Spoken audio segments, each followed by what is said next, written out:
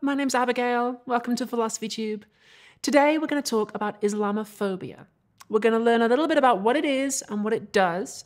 And I'm going to conclude by saying if we want to understand it, we need to think about how people conceptualize threat. We're going to have to talk about some heavy stuff, but the video is classroom appropriate. We're going to have to mention some contemporary political issues as well. I'll be citing all my sources at the top of the screen and I will try to be impartial. I will obviously fail because I'm human, but I will do my best for you. If you do your best to, please keep my comments section a nice place. I'm very grateful to all the Muslim script consultants I hired to help me. If you get something out of today's video, feel free to share it with someone or sign up to support me at patreon.com slash philosophytube. And now, without further ado, Dami i Gozbora продолжайте shoot.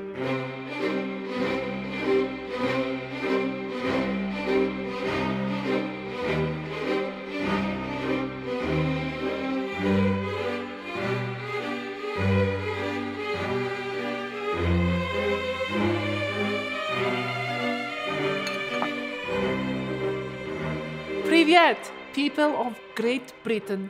It is I, normal English lady and not Soviet secret agent Natasha Mikolovna Orchidectomy. Would you like to join me for normal British refreshments, cucumber sandwiches, afternoon tea, and we can talk about normal British conversation topics, the weather, the football game, transphobia. Ugh. I feel like I'm being very obvious. But what else can I do? I trained for so long to be a sleeper agent. They told me, Natasha, you will go to the West, infiltrate their society, and subvert them for the glory of the motherland. And I learned perfect English. I learned your culture. I even learned the rules of cricket. I moved my whole life to London and two weeks later the bloody Berlin Wall fell down. I never even got to do any spying. God, what I wouldn't give to be arrested for subversion. Nobody's worried about Reds under the bed anymore. Now they're worried about someone else. The Oxford English Dictionary defines Islamophobia as Quoting the dictionary in a video essay is for hacks. The point is to gain a greater understanding of the topic, not to regurgitate words off a page. So, Story time. In 2009, a man named Shahed Hussain was hanging around outside a mosque in Newburgh, Orange County, New York, where he happened to bump into another man, James Cromitie, who was impressed by Hussain's flashy car. Cromitie was working the night shift at Walmart, and Newburgh is a town particularly blessed by the fruits of your capitalist system, to jest gorod północju oblażalsia. So, Hussain being this wealthy businessman, he stood out. Over the next year, Hussain repeatedly offered Cromitie a quarter of a million dollars, a BMW, a holiday to Puerto Rico, and his own barbershop business in exchange for committing a thing that you can't say on YouTube, which Cromitie initially refused to do. When Cromitie lost his job, however, he agreed to go along with it, but then he didn't really do anything. He strung Hussain along for months, talking the talk. Hussain told him to recruit some other guys to help, and Cromitie was like, Yeah, yeah, I'm on it. I- am gonna recruit some real hard nuts, trust me.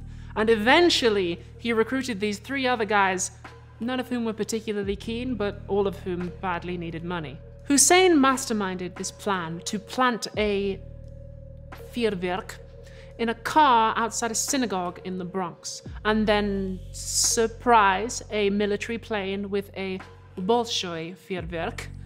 Hussain supplied the money, the plan, the equipment, and the snacks, and drove the four of them to the Bronx because none of them had a car. Cromitie got out, planted the firework in the target car, didn't even switch it on, then got back into Hussain's vehicle. Whereupon, a hundred FBI agents jumped out and arrested everybody. It turned out that Hussain was working for the FBI the entire time. The devices were fake, the plan was fake, the snacks were real, but there was never any danger. And that's not my opinion, that's the opinion of the judge, who said The essence of what occurred here is that a government, understandably zealous to protect its citizens from terrorism, came upon a man both bigoted and suggestible, one who was incapable of committing an act of terrorism on his own.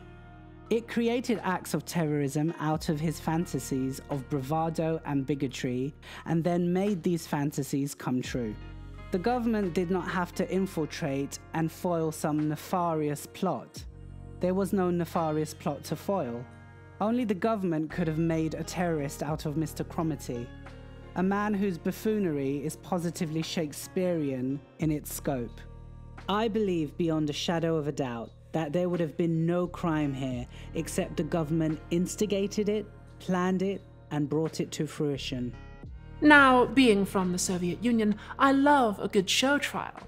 But in the West, you have these things called entrapment laws that are supposed to protect you if the police set you up. However, if you are on trial in an American federal court and your lawyer argues entrapment, the prosecution just have to prove that you were predisposed to commit the crime. And that's easy enough. If you've done some petty crime in the past, if they bring you in under armed guard so you look very scary, if you've been recorded saying awful but legal things about soldiers or Jewish people, or if you just look like a stereotypical criminal, then a lot of jurors will go, yeah, seems like he was predisposed. And that's enough. The entrapment defense fails almost every time, as indeed it failed in United States v. Cromitie when all four defendants were found guilty and sentenced to 25 years each in an American gulag, which at time of recording I believe they are still serving. You decadent Westerners, you think you have nothing to fear just because you didn't do anything wrong? oh no, my friends. If you don't commit a crime, we can simply build the crime around you. Oh, I miss the KGB. Although apparently not everyone's cut out for a career in the secret police. Terry Albury, who was an FBI agent for 17 years, was convicted of espionage in 2018 for leaking classified documents about the Bureau's methods to the press. Of course, I had already read Russian translations of those documents years ago, but to many Americans they were quite shocking. Albury later claimed that a lot of agents get burned out and disillusioned because you join up out of a sincere desire to protect people, and then 16 years later it's 1 a.m. and you're going through some guy's bins, reading his receipts, and you know the only thing he's done wrong is visit a mosque, and it, it's not exactly James Bond, is it? The war on terror is like this game, right? We've built this entire apparatus and convinced the world that there's a terrorist in every mosque and that every newly arrived Muslim immigrant is secretly anti American. And because we've promoted that false notion, we have to validate it. So we catch some kid who doesn't know his ear from his ass for building a bomb fed to them by the FBI. It becomes a vicious circle, because the longer you look at a kid, the bigger the file gets, even if they've done nothing. And then six months later, somebody calls the FBI and says, I've seen some suspicious activity in this neighborhood, and an agent can see that we have thick files on all of these kids. But the question is okay, so you have thick files on these kids, but the files have shown that these kids are guilty of nothing. So, what does that actually achieve? It achieves intelligence, and that's a nebulous, wonderful sounding word that everyone likes to throw around. But based on my experience, the entire purpose of these assessments was to create a database of American Muslims it's a very dangerous and toxic environment, and we haven't come to terms with the fact that maybe we really screwed up here. Maybe what we're doing is wrong. Now, before anyone accuses me of being some kind of secret leftist infiltrator trying to undermine the West, please note the two critics of post 9 11 security culture that I just quoted were not Marxist academics or purple haired students, but a judge and an FBI agent. And when they're the ones saying that something's gone wrong, I mean, I am a secret leftist infiltrator, but I'm an honest one. I did try taking over the British Labour Party, but Keir Starmer foiled my schemes with his unstoppable sexual charisma. These two stories come from the USA, but they're not the only ones. In the early 2000s, the vibes in many Western countries were rancid, as several political analysts have said. And these rancid vibes contributed to an atmosphere in which Muslim people were seen as potentially disloyal, suspicious, maybe even dangerous, and in need of surveillance. Reminds me an awful lot of the Cold War. Muslims, disproportionately women, were attacked in the streets, monstered in the media, many were forced into violent relationships with the state or put under pointless surveillance. A lot of people who weren't even Muslim got a hard time just because people thought that they were Muslim, and a large number of hypocritical and simplistic stereotypes about Muslims were disseminated widely. The Islamic world never had a secular enlightenment, which is why they have such a disposition towards violence. Unlike Great Britain, a peaceful society that's never been violent towards anyone. Luckily, all that's behind us now. It's definitely not still happening, and it definitely hasn't had any long term negative consequences.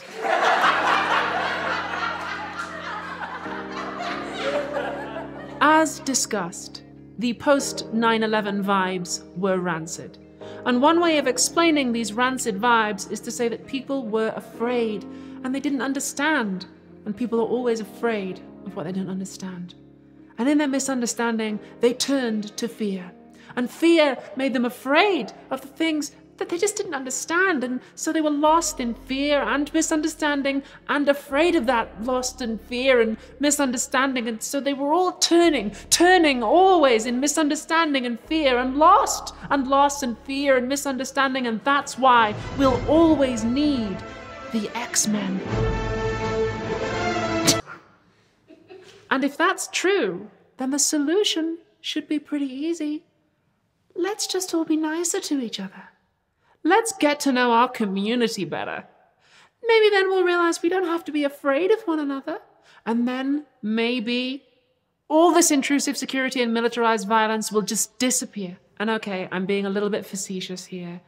Healing and togetherness, detente, it, it's not nothing. But we can also go deeper. Yes, people were afraid. But why did their fear take the form it did and have the effects that it did? Islamophobia didn't just start in 2001. The anti racism think tank Runnymede Trust published a report titled Islamophobia A Problem for Us All in 1997. They followed it in 2017 with the hilariously understated sequel Islamophobia Still a Problem for Us All. The philosopher Sara Ahmed says that emotions are more than just individual psychological states. Society produces and prioritizes certain group emotional responses over others, and in doing so, reveals interesting things. Now, that's quite an abstract point, so let me give you an example. Story time again. On Monday, the 25th of July 2005, four men were renting a cottage in Haworth, West Yorkshire. They had driven up from London for a friend's wedding, and about 11:20 a.m. one of them went out to buy laundry detergent, whereupon several armed police jumped out and pinned him to the pavement at gunpoint, along with another man who just happened to be walking past. The police searched the house and the car with dogs, interrogated the men, and quickly discovered absolutno nicheva. They were completely innocent. What had happened was a local resident had seen four men, three South Asian, one white, drive up on a Sunday night with a suspicious package and go into the house. And they'd called the cops, who responded thusly. The suspicious package turned out to be a box of mangoes, delightfully, and one of the men had recently been giving lectures at Bradford University on the need for community cohesion. The 25th of July 2005 was two weeks after 7 7. So, yeah, people probably were a little bit on edge. And we can go deeper and explore these emotions. Haworth is in West Yorkshire, which historically was a big centre of the textile industry. In the mid 20th century, a lot of South Asian people moved there to do the night shifts in the textile mills that white people didn't want to do. But by the 1980s, it was cheaper for your capitalist class to have people actually in Asia do textile work, so all the jobs went. And like a lot of the north of England, the area declined economically in a big way. And those South Asian people suddenly found they weren't always welcome anymore. So a lot of them got jobs driving taxis or opening corner shops or doing stuff where they didn't have to live and work alongside white people who might be racist towards them. As a result, parts of England remain to this day very racially segregated. Some people who've been living here longer than I have are still seen as outsiders, which maybe contributed to the decisions somebody in Haworth made to call the police when they saw some South Asian guys renting a house. If you want to, you can trace this political economic dimension of emotion even further back to colonialism, as many Muslim scholars have done. When Algeria was fighting for its independence from France, the French justified their occupation in part by claiming that Muslim women were uniquely very oppressed, in particular, oppressed by wearing veils, which the colonial government banned. France banned Muslim women from wearing veils again in national territory in 2004, claiming it was for their own good. And a lot of Muslim women have objected to this pretty colonialist idea that inside every Muslim woman there's a non Muslim woman struggling to get out.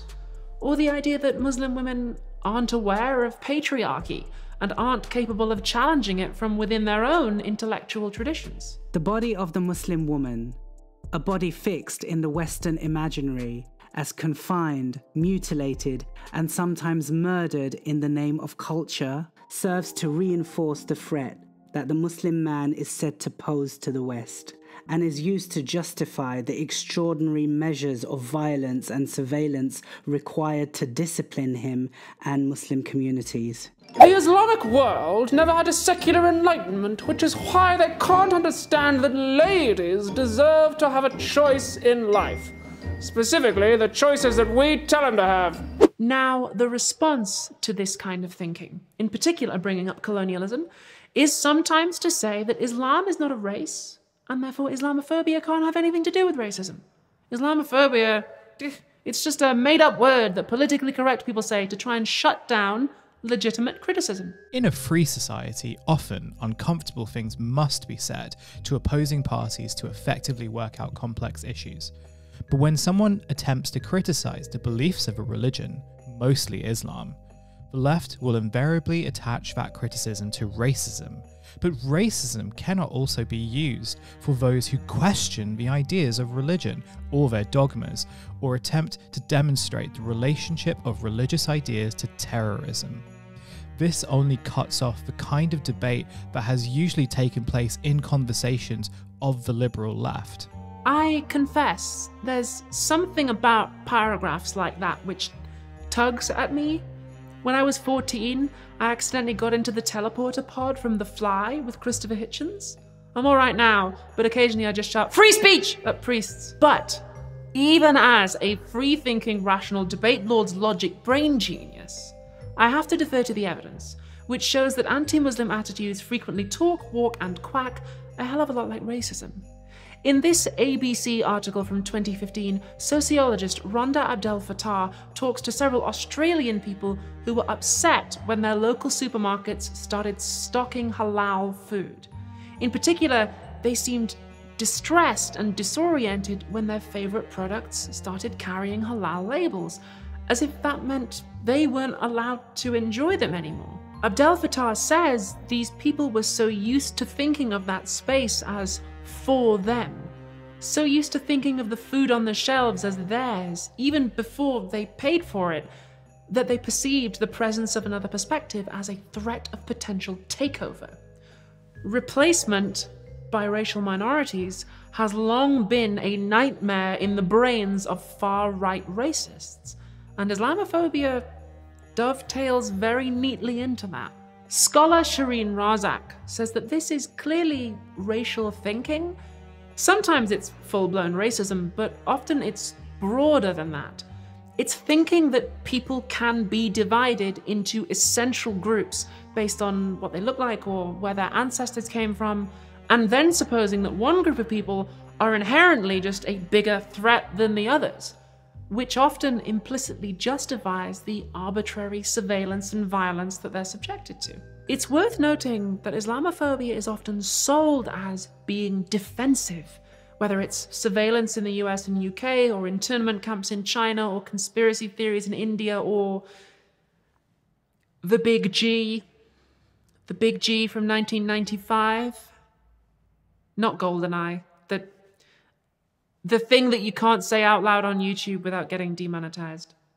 It's often sold as, well, we had to do this to protect ourselves against the threat that these people posed, even if the evidence for that threat just isn't there. Razack compares it to lynchings, which were also often sold as, oh, we're defending the community against crime. But everyone knew that was just an excuse. It was really about violence against a racialized other. And the really insidious thing about this is that it doesn't just create a racialized other. I remember in my teenage new atheist phase reading Sam Harris's book, The End of Faith, and I was nodding along with the criticisms of religion, and then I got to the bits where he started talking about American foreign policy and even torture, and saying that Islam was this big threat. And I had Muslim friends, and I thought, uh, have I skipped a chapter here? I couldn't really put my finger on it, but I got the feeling that I was missing the fine print. What I eventually came to understand is that I was being encouraged to see myself in a different way too.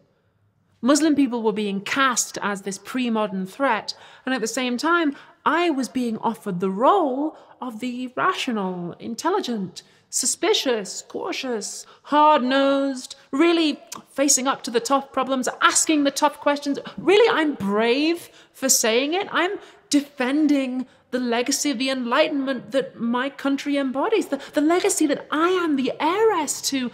I am. I am. I pride myself on being a fair minded person. I was raised in a very conservative, religious household. My brother was always encouraged to go out into the world and pursue his dreams of being a door to door petrol salesman. But I was expected to enter the caring professions, and it took no small amount of courage to defy that expectation. I was heartbroken by the news of this awful fire. Such a beautiful building, a symbol of the old world, of culture and tradition. I saw the smoke from my window, and I wished, God, how I wished, that there was something I could do. Of course, everyone's on edge in this current climate because of these terrible arson attacks that have been happening all over. It's not clear yet whether this is connected. But as a journalist, I have a duty to follow the truth wherever it leads, even if that truth is uncomfortable. I can't help but wonder why were so many barrels of petrol being stored in that particular building? What were they planning on using them for? Somebody must have known. Why did nobody speak out? Is it possible that this building was being used as a central distribution center of sorts? Now, that's the kind of question that the anti firework brigade would probably call incendiary. But that is exactly the kind of silencing remark that needs to be stamped out. It takes an awful lot of courage to speak up when you're expected to wisht, especially for women and girls.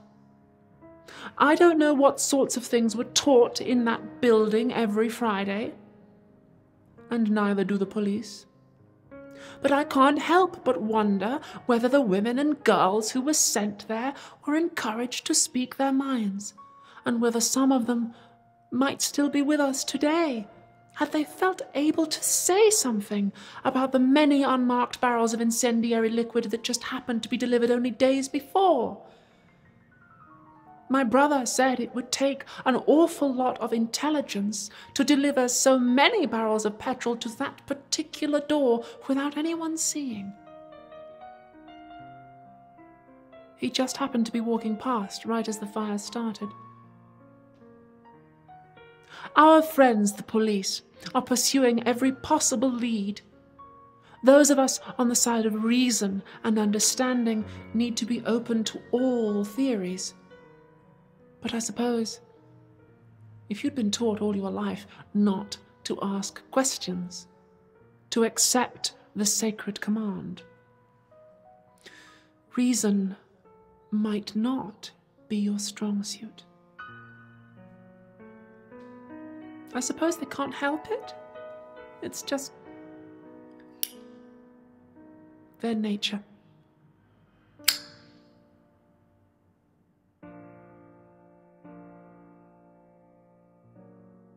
The philosopher Richard Jackson says that after 9 11, counterterrorism strategy had a real crisis.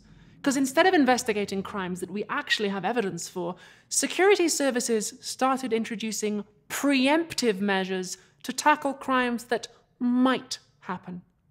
That's why agents like Terry Albury ended up spying on people who overwhelmingly never did anything wrong, instead of spying on me. The trouble is that what might happen is infinite. Aliens might invade tomorrow. We might find out that we're living in a simulation or that sexy communists have infiltrated your government. There's zero evidence for any of that. But there was also zero evidence that James Cromitie was breaking the law until somebody decided to make that evidence. Part of the problem was that after 9 11 and 7 7 in the West, people obviously wanted to know why these traumatic things had happened, but the explanations often weren't very good. In analyzing post 9 11 media, friend of the show, Lindsay Ellis, points out that in the immediate aftermath, there was a strong push to say something, even if it wasn't particularly edifying or coherent. The list of things that were politically acceptable to say quickly proved to be quite short. You were allowed to say that terrorists hate our freedoms, that they are evil slash mad, and you were allowed to blame it on religion. Free speech! But if you talked about the disenfranchisement and the aggressive foreign policy and the racism that alienates many people from society and motivates a tiny number to commit terrible violence, if you said that a heavy handed response was likely to give ammo to the worst people on both sides of that response. In other words, if you looked at terrorism the way academics do, as a mode of political expression, however unjustifiable and horrific. You could quickly find yourself on the receiving end of a nasty backlash. Answers to the questions of what drives this process are to exclude ascribing any causative role to the actions of Western governments or their allies in other parts of the world. Instead, individual psychological or theological journeys, largely removed from social and political circumstances, are claimed to be the root of the cause of the radicalization process. While some accounts acknowledge politics as a component, using euphemistic phrases such as grievances against real or perceived injustices, this is only ever done in the face of overwhelming empirical evidence before they quickly move on to the more comfortable ground of psychology or theology. How a government makes sense of political violence directed against it usually tells us at least as much about the nature of that government as it does about the nature of its violent opponents. The French philosopher Etienne Balibar says we need to understand all this in the context of your government's failure to solve other problems. Take Britain, for example. Without getting political about whose fault it is, there are definitely problems food shortages, job shortages, energy shortages, medicine shortages, massive economic inequality, millions of children living in poverty, hundreds of thousands of people using food banks, hundreds of thousands of people sleeping on the streets. There's an entire demographic of the population who are routinely denied life saving medical care. Less than 2% of rape cases result in charges. The climate reaper is breathing down our necks. We didn't have the supplies we needed to deal with COVID. We didn't have the manufacturing capacity to make the supplies we needed. And over 130,000 people are now stone cold dead. Don't look at me. I haven't done any communist subversion since I got here. Boy, I sure wish somebody would write a best selling series of sci fi novels about the epistemological and political crisis of Western liberalism following 9 11.